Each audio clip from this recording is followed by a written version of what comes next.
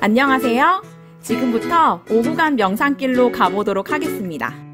도시를 떠나 조용하게 걷고 싶은 분들과 그동안 막혀있던 백두대간의 한 줄기, 한북 정맥을 걷기 원하시는 분들이라면 명산길을 추천합니다. 지금부터 오구간 명산길을 소개합니다.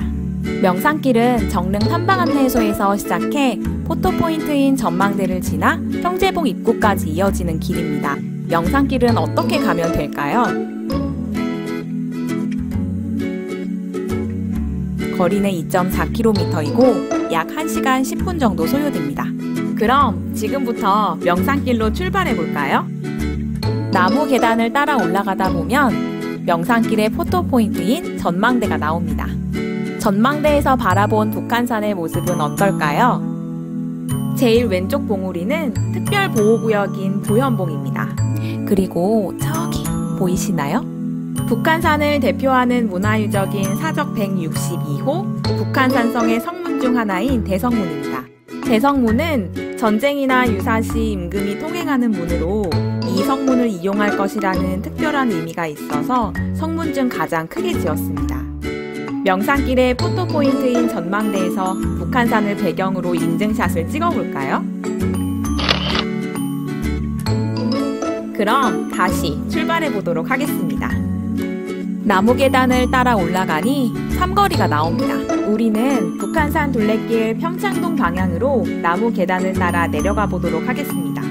조금 더 내려가니 앉아 쉴 수 있는 쉼터가 있습니다. 이곳에 앉아 조금 쉬고 갈까요? 숲은 겉에서 보기에는 조용하고 고요하지만 다양한 생명체가 함께 공생과 경쟁을 하며 부지런히 움직이고 있습니다. 나무는 자라면서 스스로를 보호하기 위해 내뿜는 물질이 있는데요. 바로 피톤치드입니다. 피톤치드의 주성분인 테르펜이라는 물질이 숲속의 향긋한 냄새를 만들어냅니다. 우리 이곳에서 나무가 주는 천연 비타민인 피톤치드를 마시면서 조금 쉬었다 가보도록 하겠습니다. 이정표를 지나 계속 내리막길을 따라가니 작은 나무다리가 나옵니다. 나무다리 아래에는 맑은 계곡물이 흐르고 있네요. 아주 맑죠? 호젓한 참나무길은 명상을 하기 좋은 장소로 긍정적인 마음가짐을 갖게 합니다. 참나무는 쓰임새가 많아서 진짜 나무라는 의미를 담고 있습니다. 북한산에서 가장 많은 나무가 바로 참나무인데요. 작은 도토리 하나에서 커다란 숲을 이루는 참나무는 동물들과 곤충들의 편안한 쉼터가 되어줍니다. 이곳은 명산길 구간 중 가장 넓은 휴식 공간입니다. 이곳을 지나 평평한 흙길을 따라가니 다시 나무 계단으로 둘레길이 이어집니다.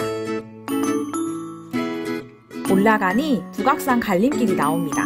명산길에 있는 북악산 갈림길은 북한산에서 북악산으로 갈 수 있는 유일한 도보길입니다. 일명 김신조 루트로 막혀 있던 이 길이 열면서 북한산에서 북악산으로 이어지는 한북 정맥의 흐름도 되살아났죠. 이 갈림길에서는 정릉동과 평창동 방향 둘레길은 물론 북으로는 북한산의 형제복능선, 남으로는 북악산을 지나 서울 성곽까지 갈 수 있어서 탐방로의 요지로 꼽히고 있습니다. 그럼 다시 출발해 보도록 하겠습니다. 저기 큰 바위가 보이네요. 바로 거북바위입니다. 홍해 남공교 대사는 꿈속에서 계시를 받고 산에 오릅니다. 대사는 산을 오르는 중 큰 바위 밑에서 비를 피했는데 그 장소가 바로 꿈속에서 찾으라고 한 거북바위였던 것이죠.